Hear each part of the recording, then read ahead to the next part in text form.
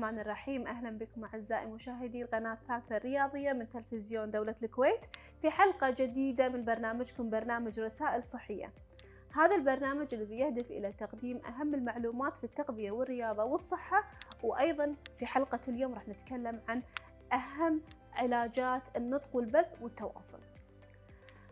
مع الكبر ومع العمر كبار السن يحدث لهم مشاكل كثيرة سواء في التواصل وأيضا في النطق. أخصائي علاج النطق والبلع هو أيضا أخصائي يمكن أن تتواصل معه في علاجات التواصل خصوصا مثل ما قلنا لكبار السن يحدث لهم هذه المشاكل. فمهم جدا أنك أنت كشخص مسؤول عن شخص عندك في البيت كبير بالعمر تفهم شنو طرق التواصل معه شنو طرق الاستيعاب اللي هو واصل لها وشلون مثلا تحد من المشكلة وتبتعد عنها وتحافظ على الشخص الكبير بالعمر لأطول فترة ممكنة في حالة استيعابية جيدة وفي حالة نفسية جيدة. في حلقة اليوم راح تكون عندنا ضيفة مختصة في علاج النطق والبلع والتواصل. راح نتكلم عن موضوع يخص كبار العمر وأيضا موضوع يخص صغار العمر سواء في النطق في البلع وأيضا في التواصل لكن بعد هذا الفاصل.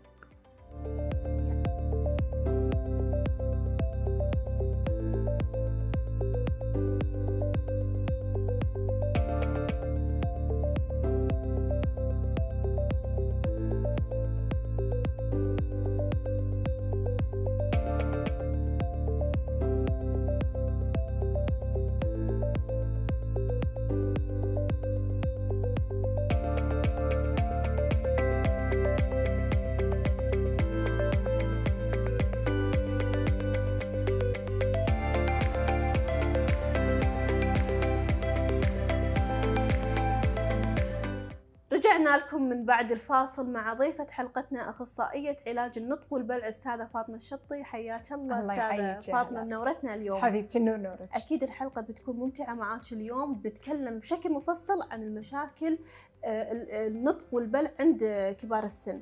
وذكرتي قبل الفاصل في مشكلة دائما مصاحبة مع كبار السن اللي هي الحبسة الكلامية.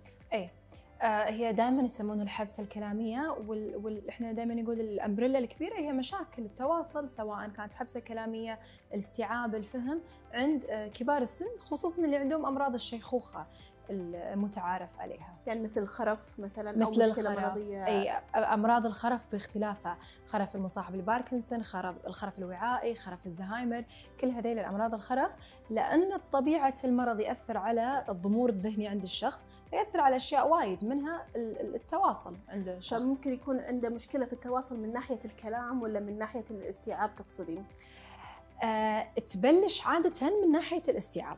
أوكي؟ يعني دائما إحنا نقول ان ال- البوادر اللي إحنا نسمعها من أو من الأهل والله ما قاموا يذكرون فلان. ولا مثلا أضطر أعيد السالفة مرتين مم. تسألني نفس السؤال بعدين ترد تسألني مرة ثانية. آه شيء روتيني هي تقوله قامت تنسى تقول إياه. فأول شيء إحنا نلاحظه في ال- الاستيعاب. الاستيعاب عند الشخص. مثلا أول لو أقول لها مثلا اي مثلا روحي الدار داخل تلقين هالشيء تلقين تروح الدار وتجيب شيء ثاني. فإحنا نبدي نلاحظه باستيعاب بعدين تطلع عندنا في ال- اللغة التعبيرية إن أنا أبدي انسي انسى الأشياء اليومية. يعني أنا. يوميا أشوف فلان بديت أنسى اسمه. أنا في دولة معينة أحب أروح لها نسيت اسمها فجأة. نسيت.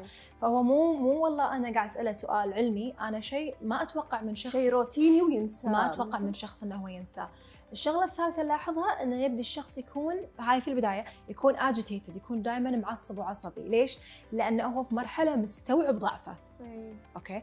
فأنا مستوعبة إني أنا ناسي الكلمة. أنا أنا قاعد طالع عيونكم وأنتم متوترين ردة إيه. فعلكم قاعد تصلحوا لي كأني أنا ياهل تسكتوني وتكملون السالفة عني. فدائما يكون الشيء الثالث اللي لاحظ عليه إن الشخص يكون دائما معصب متوتر. agitated زين في هذه الحالة طبعا هذه الأعراض اللي تكلمتي عنها أو خلينا نقول هذه البداية الأمور البدائية اللي تحصل معه شنو شنو طريقة أخصائي ال- ال- التواصل؟ شنو الطريقة اللي أنت تتبعينها معاهم في هذه الحالات؟ آه، الجماليات في العلاج مع مشاكل الخرف إنه هو يكون علاج كامل، يعني أنا مو بس أطالع المريض، أنا عندي المريض وعندي مقدم الرعاية الأولي. اللي هم الأهل. الأهل وعندي كل اللي عايشين في البيت معاه لأن أنا مو بس أبي أحضرهم شلون يتواصلون معه ويتواصل معهم في هذا المرحلة أنا أبي أحضرهم إنه يتواصلون معه في كل مراحل تقدم المرض. وبالإضافة إني أنا أبي أحافظ على المرحلة اللي هو فيها كثر ما أقدر. يعني إذا إحنا قاعد نتكلم عن أمراض الخرف مثلا إحنا عندنا 3 ستيجز بداية متوسط ومتقدم. إحنا كدكاترة كلهم بالعلاجات الأدوية العلاجات النفسية إحنا نبي نمطط كل مرحلة كثر ما نقدر ممتاز. في السابق كانت كانت العمر الافتراضي حق الإنسان اللي يصاب بالخرف ما يعدي سبع سنوات. خمسة سبع سنوات. إحنا اليوم العمر الافتراضي قاعد يوصل 20 سنة. مم. يعني أنت عندك الشخص يصاب بالخرف عمره 70 هو ممكن يعيش معي لعمره لا، 90 شيء 90 ممتاز. عرفتي؟ فتقدرين أنت تطولين مرحلة أطول هذه المرحلة. بالضبط. فإحنا نشتغل بتمارين الذاكرة نبدي نعطي معنى حق حياة الإنسان نبدي نشغل مخه آه نبدي نعطي آه جلسات مكثفة بهالمرحلة. وشيء ثاني انه نبدي آه نغير طريقة التعامل الأهل معه عرفتي؟ لأن الأهل شنو يصير فيهم لما هو يما إيش فيك أنت ذكرتي. هالشيء ويعصبون عليه الأسلوب مهم وطريقة إيه، التواصل معهم طريقه التواصل. مهمة بعدين الأهل يبدون ياخذون السلطة من عيال العيال ياخذون السلطة من مم. أهلهم لأنه ما أبي اتعب فعلا هذا الشخص فأنت شوفي شنو تبعات تغيير ال- العلاقة من ما أنا أنا أمك أنا أبوك أنا المسؤول عنك الحين. فجأة أنت قاعد تعاملني ك- وأنا للحين في فترة أنا مستوعب شنو قاعد يصير. ولو أنا ما نطقت. دائما إحنا نقول ال- ال- ال- الجانب العاطفي عند مريض الخ... المريض المصاب بالخرف ما يضمر. هو حاس بكل شيء هو مشكلته مو عارف يعبر باللي حاس فيه. صحيح. فكل شيء حوله هو حاس فيه. صعب الموضوع والله. صعب الموضوع على الشخص. فهو شوفي شنو تبعاته النفسية على المريض فما بالك بالتغييرات اللي قاعد يشوفها قدامه. على قولتهم أنا شايف وساكت ماني قادر إيه، أعبر. فعلا صحيح. عرفتي؟ فأنت تتبعين خطة علاجية مع المريض نفسه وأيضا مع الأهل المسؤولين عن المريض. طبعا. فشنو مثلا خد أعطيني أهم التعليمات اللي توجهينها حق الأهل آه، ال- ال- اللي يراقبون الشخص اللي عنده مثلا خرف أوكي. في بدايته إحنا لازم نتأكد انه هو قاعد يتبع مع دكتور آه، تخصص كبار سن. فهو بال- بالجانب ال- الفسيولوجي هو عنده أحد قاعد يتبع معاه من ناحية الأدوية من ناحية لأن إحنا عندنا اضطرابات النوم والمشاكل الأخرى.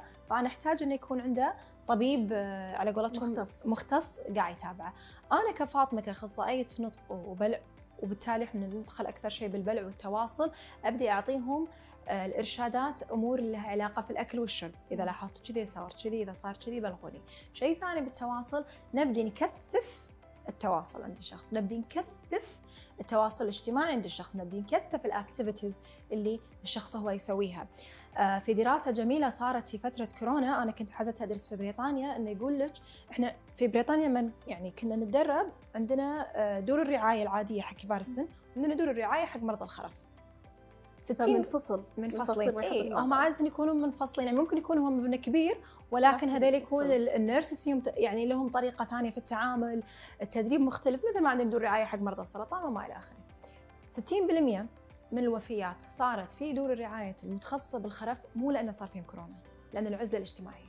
فعلا. العزلة الاجتماعية هي أخطر شيء ممكن يعني نعطيه الشخص ال- ال- آه، المصاب بالخرف. إحنا مو نبي نعزل أهلنا لأن إحنا نبي نعزل أهلنا. إحنا نبي نعزل أهلنا خايفين عليهم. فعلا ما ابي. امي تروح الجمعه الكبيرة الاستقبال الناس تخزها وتخزهم. يستنكرون يسألون أسئلة. فأنا مو يعني عقوقا بأهلي أنا قاعد أسوي شيء. أنا برا فيهم آه، ممكن هذا هذيل الأشخاص الكبار بالعمر اللي عندهم خرف هل يسبب لهم شعور بالخوف والصدمة مثلا لما يشوفون تجمعات كبيرة ناس محاوطة آه، معاهم وما يعرفون يتواصلون آه، بشكل مناسب يعني حق الوضع؟ اي في البدايات اي لأنهم مو مستوعبين شنو قاعد يصير خصوصا إذا كان عندي خرف تدريجي مو مفاجئ ساعات عندي خرف مفاجئ إن الحين صار فيني جلطة الحين صار فيني خرف. خرف. فأنت أمس الوالد كان شيء واليوم الوالد شيء ثاني. الخرف التدريجي يكون بطيء فالتغييرات أنا للحين مستوعب شنو قاعد يصير.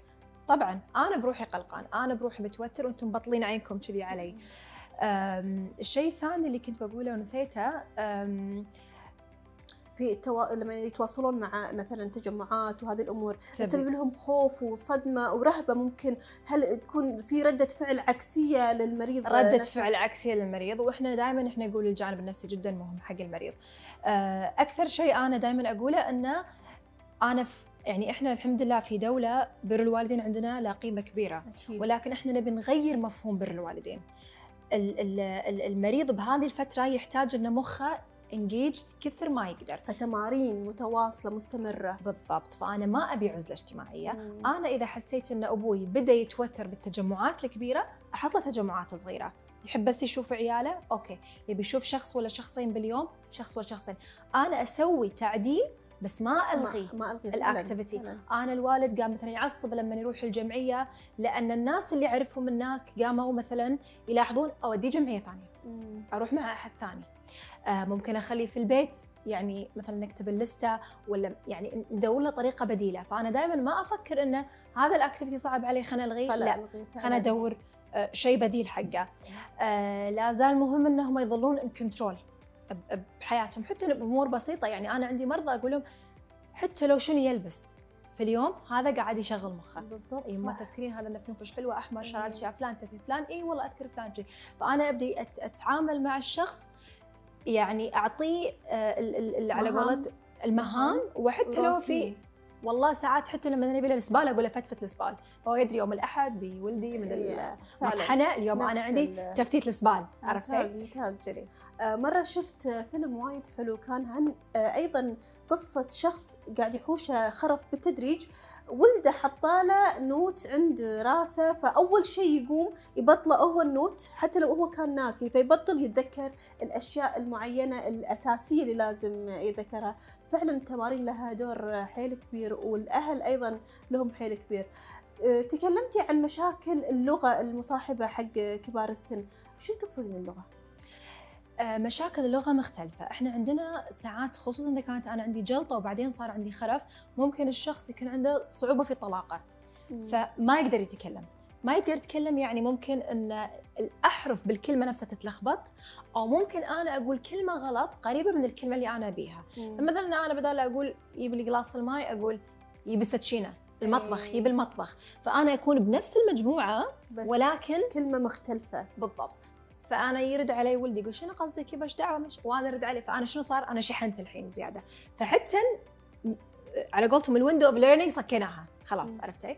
النوع الثاني ممكن تقولين أنا أبوي ما يرد. إي ولا لا؟ بس يكرر. تبي ماي يقول ماي تبي قهوة يقول لي قهوة. فعلا فأنا عندي آه، مني هذا مشكلة طلاقه ال- التدخل يختلف. ساعات إحنا إذا حسينا إن اللغة التعبيرية جدا صعبة على الشخص بس استيعابه زين نبدي ندخل له صور. مثلا أنا أحط له مثلا دفتر والدفتر فيه الأشياء اللي هو يبيها المشاعر الأساسية ويبدي يا أما إذا كانت قراءة إذا هو قراءته زينة أو إذا مثلا صور إذا كانت آه، يعني رؤية عنده زينة فيبدي يكون عنده تفاعل عن طريق ممتاز. هذه الصور. ممتاز. ساعات إحنا نغير طريقة طرح الأسئلة. يعني أنا أقول لهم أوكي لا تسألون أسئلة مفتوحة جدا. اسالوا أسئلة مغلقة. لا تعتمد فقط على الرد اللفظي يعتمد على تعابير الوجه يعتمد على الإشارة وما إلى اخره أنا دائما أحب مثلا إذا مشا... مشكلة تخص كبار السن لما أتكلم عن المشاكل المصاحبة معاهم أتكلم في نفس الحالة مثلا ال... ال... الخرف. آه، الحالة النفسية حق الشخص نفسه أستاذة فاطمة شلون تقدرين أنت مثلا تقيمين حالته هذا عنده مشكلة نفسية وشلون أنا أقدر أتداركها وأتجنبها آه، مع العلاج؟ هو المشكلة النفسية عادة تكون مصاحبة للمرض يعني أحد تداعيات المرض ولكن جزء كبير منها له علاقة بتغيير نمط الحياة. يعني إحنا دائما نقول مثلا أبوي صار عصبي ولا أمي صارت عصبية صارت تصرخ تطق بس إحنا ما نشوف شنو تغير نومته تعتفست صح. فأنا أي إنسان يعتفس نومه راح يصير عنده مشاكل آه، راح يكون agitated أنا فجأة أخذت منه control أنا فجأة أنا, أنا غيرت شيء بحياته ف... فصار. وهو بلحظة قاعد يستوعب تغييراته أو يمكن هو مو مستوعب. يعني مثلا يعني أثر على الذاكرة فهو مو مستوعب إن هذا بيته. أي. فهو فعلا إنسان خايف. أنت أنا معصب عليك انت حاطني مكان هذا مو بيتي. عرفتي فالمشاكل النفسية عادة تكون مصاحبة حق شيء قاعد يصير في المحيط. أنا أقدر أدرك المحيط. قصدك. الأهل هم اللي يقدرون أنا أقدر ادرك المحيط إي يعني أنا عندي. دكتوري ال- ال- ال- ال- المعالج الرئيسي اعطاني ال- التوصية العلاجية اعطاني أدوية ولكن أنا كمعالج سواء علاج تواصل أو قصدي علاج نطق وبلع وعلاج وظيفي أنا أقدر أغير المحيط. أنا أقدر أخلي المحيط مستقل كثر ما أنا أقدر أنا أقدر أخلي التواصل سهل في هذا المحيط أنا أقدر أخلي في عنده تفاعل ذهني واجتماعي حق هذا المريض والله أستاذة فاطمة الأهل أيضا لهم دور حيل كبير في اشوفك دائما تكررين الأهل والبيئة وارد المحاطة أقول البيئه والأهل والأهل الاهل والبيئة على قولتهم. صحيح. أستاذة فاطمة أكيد راح نكمل الموضوع لكن بعد هذا الفاصل.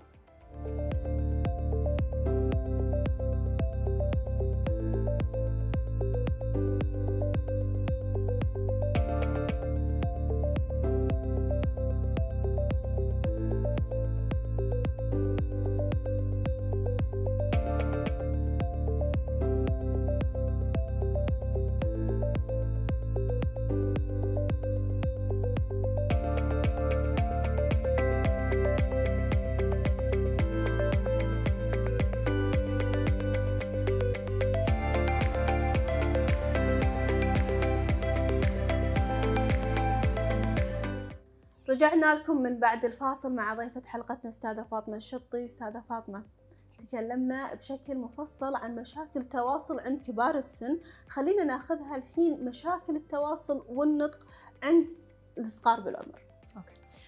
آه، الصغار بالعمر عندنا اللي هو إحنا نسميها فئة البالغين. فمن عمر نقول 18 لين يعني 60 65 أو العمر الأطفال.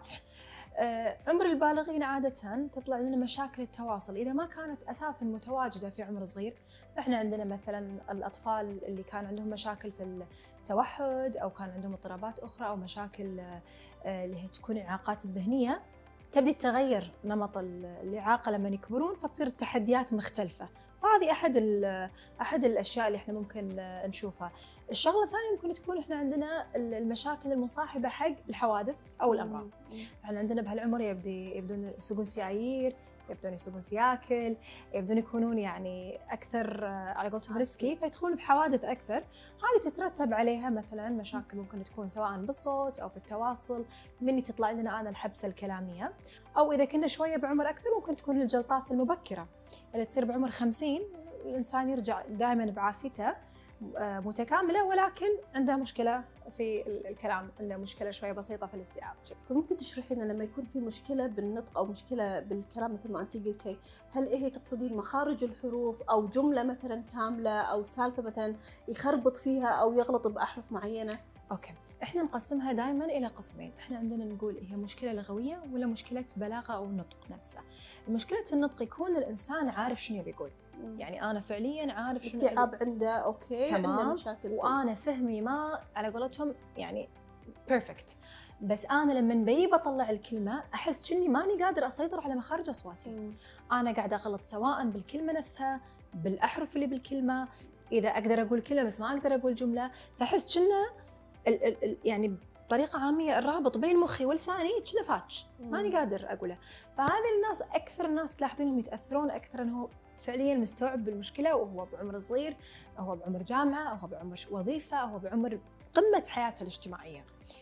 آه والنوع الثاني يكون نوعا ما مستوعب ولكن الكلمة بكبرها تتلخبط. يعني يقول لك كلمة سليمة يعني مثلا تسالينه تقول مثلا آه شنو كريت اليوم؟ بدال يقول لك مكبوس ممكن يقول لك طاولة. نطقها صح. صح بس بلاغتها صح بس هي الكلمة غلط. الكلمة غلط. في المقابل الشخص اللي عنده مشكلة في البلاغة تقول شنو كليت اليوم؟ يقول لك مثلا آه ما وتأتأ مثلا أو ما ما ما ما ما, ما فهي التأتأة جزء من مشاكل هي هي مو التأتأة اللي إحنا نعرفها ولكن تصير عندي أنا الفلونسي تتأثر عندنا اللي هي طلاقة الكلام. فهذا النوعين اللي عادة إحنا نشوفهم وفي الأغلب النوع اللي فقط يأثر على الطلاقة الاستيعاب عندي ماشي تمام. النوع اللي ياثر على الكلمات نفسها أو إن المعنى والمحتوى الاستيعاب في بعض الأحيان أو في أغلب الأحيان يكون شوية متأثر آه عندي في في التواصل. زين في هذه الحالة غالبا مثل مثل ما قلتي الحوادث أو مشاكل ثانية من وين تبدأ بداية العلاج؟ بداية خيط العلاج؟ خيط العلاج يكون مكثف okay ودائما أنا أقول هي في عندنا مرحله ال golden آه هي من أول ستة أشهر من بعد التعافي يعني مثلا أنا الحين دخلت بحادث خلينا نقول صار عندي مضاعفات قمت بالعافية بعد أسبوعين ثلاث أسابيع. من هنا تبدي مرحلة العلاج. أول ستة أشهر دائما تكون مكثفة دائما تركز على إن أنا أبي أوصل حق أفضل phase آه، حق الإنسان نفسه. ممكن الطول توصل لسنه لأن أنا أستغل إن حاليا المخ قاعد يسوي rewiring حق كل شيء. المخ فقد وايد من قدراتها يبي إحنا نسميها ال neuroplasticity أو المطاطية الذهنية. أنا خاص ترجمتها كذي. آه، تبي تحاول ت redefine itself فإحنا نستغل هالفتره إن نحاول ندرب المخ ونوصل حق المستوى اللي إحنا نبيه اللي هو كان قبل هذا الحادث أو هذه الجلطة ولو كانت آه، بسيطة. ومن عقبها يظل في تقدم ولكن يكون شوي ابطا فتركزين على استيعابه وتمارين ركز يصير تمارين تمارين اي وساعات نعطيهم homework تمارين في البيت نعطيه مثلا الحين عندنا تطور التكنولوجيا والأعمار صغيرة فال applications وايد عندنا متنوعة. وتسمح لي إن ال applications المتقدمة تسمح لي أنا كمعالج أراقب فعلا. آه، أداء المريض.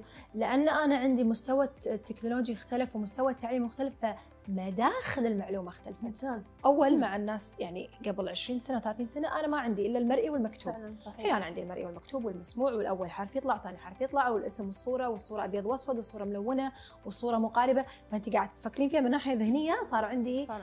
الثروه كبيرة من المواد ممتاز. العلاجية أقدر أنا أستخدمها. كلامك هذا يخليني أسألك السؤال اللي بعده اللي هو شلون التكنولوجيا ساعدتكم في حل هذه المشكلة أو في العلاج آه، للأشخاص اللي عندهم هذه المشاكل؟ آه، التكنولوجيا لعبت آه، يعني دور كبير في في مشاكل التواصل عند الأشخاص بكل الأعمار من عمر الطفولة إلى عمر كبار السن بجميع أنواعهم. إذا إحنا دائما عندنا الصورة المثالية ستيف جوبز.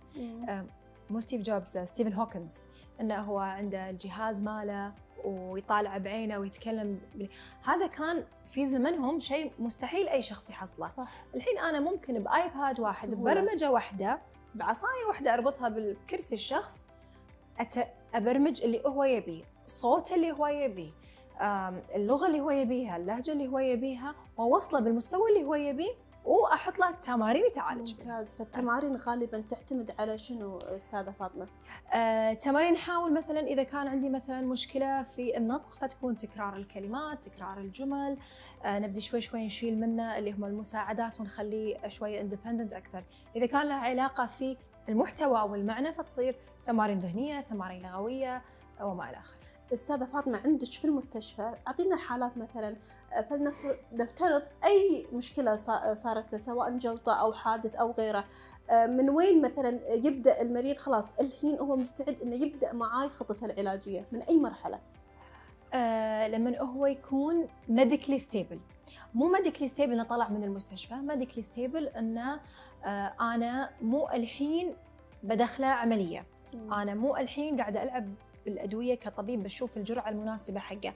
أنا المريض عندي مستقر مو بحاله ICU أنا فانت أسميها. العلاج خطة العلاج سواء أدوية وكذي ممكن تأثر على الخطة اللي انت حاطتها تتجنبين طبعا العلاج طبعا خصوصا إذا كانت عندي الأدوية لها علاقة بالصرع.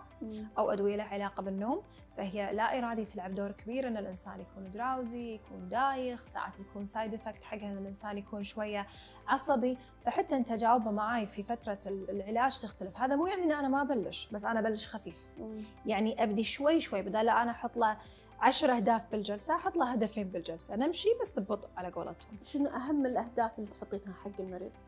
إنه يرجع حق حياته سواء بشكل كامل مثل ما كان قبل أو بشكل كامل بمساعدات خارجية إيه.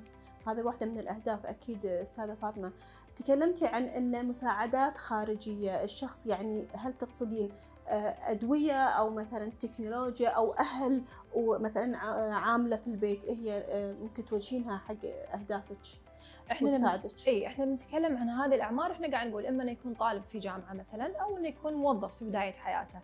فإحنا لما نتكلم عن الأشياء الخارجية أنا لاحظت إنه ممكن يساعد إذا هو عنده مشكلة في التعبير يساعد الكتابة. فدائما إحنا لما على قولتهم يروح وظيفته أو شيء نحفز إنه يكون معك نوت تكتب باجتك مثلك يساعد إنه يكون عنده كلمات أساسية يتذكر فيها وهو يطالعها يساعد إنه يستخدم إشارة في ناس استخدام الإشارة يساعدهم يعني أنا عندي في مرضى يعني ما يقدر يقول كلمة صح إلا إذا استخدمنا إشارة معاه مم. وممكن مو إشارة لغة الإشارة بحد ذاتها يعني مثلا أسوي له كذي فجأة يقول آه شلونك. شو أخبارك آه. فهمتي قصدي؟ يعني إيه. كذا صار ال- ال engine اشتغل عنده.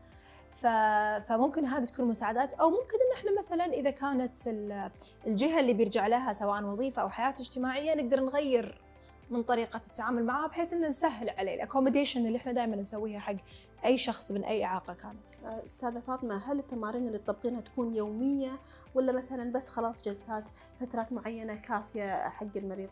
بهذا العمر تكون يومية. آه، ممكن تكون مكثفة يومين بالأسبوع وأخف ثلاث أيام أربع أيام بالأسبوع لأن أنا أعتمد بشكل كامل على المريض نفسه. فهو ارجع البيت وأنت طبق التمارين. فهو مسؤول عن نفسه. غير لما يكون مريض حيل صغير أو حيل كبير في أحد مسؤول عنه. أنا وهو حافظ نفسه. عرفتي؟ غالبا الخطة تأخذ إيش كثر؟ الخطة تاخذ لين نوصل إحنا حق المستوى اللي يكون المريض راضي فيه انه يوقف ويكون المعالج يدري إنه خلاص ما في بعده شيء الحين نبي نسوي له ولكن يعتمد على نوع المرض عمر المريض المضاعفات الأخرى. إيش كثر نبدي نشوف ال improvement فممكن إحنا نشوف improvement حيل كبير في البداية بعدين بطيء. أو العكس يكون حيل بطيء في البداية بعدين نشوف قفزة كبيرة آه، حق المريض. ساعات ال ال ال في أمراض نشوف improvement جميل جدا ولكن يصير في انتكاسة. فنرجع حق نرجع ال plan للأول. خط الصفر عرفت؟ زين أستاذة فاطمة لو نتوجه حق المواضيع بشكل مختلف نبي نتكلم عن التأتأة ومشاكل اللي مصاحبه حق كثير من الأشخاص سواء صغار بالعمر أو اكبر بالعمر يتأتؤون. فالاكيد إن أخصائية النطق والبلع لها دور كبير في علاج هذه المشكلة. آه، مثل ما أنت تفضلتي تبدي من عمر صغير. يعني إحنا نلاحظها من عمر أربع خمس سنين تقريبا هذا العمر اللي يعني ننصح فيه بالتدخل. فلما الشخص يكون بالغ يكون هو تعايش مع التأتأة فصار عندنا مضاعفات حق التأتأة مثلا إما كان عنده مثلا عزلة اجتماعية أو صار عنده حركات ثانوية يسويها عشان آه، تساعده. الشيء الثاني إنه ممكن هو كانت المشكلة متداركة في بالمدرسة لأن نفس البيئة ما تغيرت علي، الثانوية نفس البيئة ما تغيرت علي، نفس الروتين. التأتأة ممكن يحطونهم في نفس المدرسة يعني مدرسة أشخاص عندهم مشاكل في إي لأن التأتأة هي مو مشكلة ذهنية، فهي ما لها أي علاقة بالذكاء أو أو الإدراك عند الشخص هي فقط عندي آه، مشكلة في التواصل العضلي العصبي عند الشخص عرفتي؟ ف بالنهاية الشخص إذا كان هو فقط عنده تأتأة ما عنده مثلا مشاكل ثانية ما عنده اي ما عنده أي إشكالية في في في أي أمور ثانية بحياته. ف فتكون المشكلة متداركة من أخصائي نطق من عمر صغير يكون عنده برنامج يكون عنده طريقة يتعامل فيها ويتكلم فيها يخفف التأتأة كثر ما يقدر في المحيط. لكن إحنا نعرف شغلة واحدة عن التأتأة انها تصير تريجر في إيه. الأماكن الجديدة في الأماكن التنشن. فأنت تخيلين أنا دخلت الجامعة الحين بيئه جديده أي إنسان ممكن يتوتر صح في البيئة الجامعية. دكاترة الأسلوب تغير الطلبة تغيروا. فهذه تعتبر نقلة آه، ممكن إيه، تسبب شوية تزيد عندي التأتأة أو أحتاج استراتيجيات ثانية أتعامل فيها مع آه، هذه المشكلة. فعادة يكون الشخص الأخصائي النطق اللي ماسكه من من الصغر يكمل معاه في هذه الاستراتيجيات. ممكن تصير عندي يحتاج الدعم النفسي بهذه المرحلة. فأخصائي نفسي مطلوب أنه يكون موجود. ممكن أصلا من عمر أصغر يساعدني لأن هي بالنهاية تأثر على الثقة. فعلا. آه، بالنفس. أنا أشوف الموضوع من ناحيتي طبعا ما عندي معلومات كافية عن الموضوع لكن الشخص كل ما وثق عن بنفسه راح تقل عنده هذه المشكلة خصوصا لما مثلا إذا قام بيقول مثلا فلنفترض آه، بلقاء أو بحوار أو برزنتيشن تشوفين تزيد عنده مشكلة. متى ما هو قاعد بمكان بروحه ولا مسكر عليه أو ربعه يعرفهم راح يقوم يتكلم بطلاقة ولا ما له دخل. هو لا دخل لأن ال stress أو ال ال ال الوضع النفسي اللي عند الشخص مو بس بالتأتأة حتى لما من ساعة تكلمنا عن الأمراض الطلاقة عند كبار السن أنا دخل نفسي ب spiral أول ما أنا غلط فكرت بغلطتي قمت أحاتي إيه، صرت متردد. زادت زادت زادت. فدخلت أنا بدوامة spiral الحين شلون أطلع نفسي منها؟ صحيح. من هني دور أخصائي نطق إنه يساعده إنه لما يصير كذي شلون أسحب نفسي أسحب. قبل لا أدخل بهذه الدوامة. ولكن بالفعل صح الأوضاع الاسترسفل تزيد آه، عند الشخص التأتأة أستاذة فاطمة إحنا وصلنا لنهاية حلقة اليوم. الحوار معاك كان جدا ممتع. أكيد استفدنا. الحمد لله. الله يعطيك العافية. الله يعافيك حبيبتي تشرفنا. أعزائي المشاهدين وصلنا لنهاية حلقة اليوم. أكيد أي مشكلة صحية مو فقط دكتورك المعالج يقدر يفيدك معاها. لو كانت مشكلة متعلقة في النطق والبلع أكيد أخصائيين علاج النطق والبلع متواجدين لمساعدتكم. دائما أي مشكلة صحية انظر للمشكلة من ناحية تيم عالجها. دكتورك المختص أخصائي النطق والبلع أخصائي أخصائي نفسي وغيره. نلقاكم في حلقات قادمة أعزائي المشاهدين في برنامجكم برنامج رسائل صحية. مع السلامة.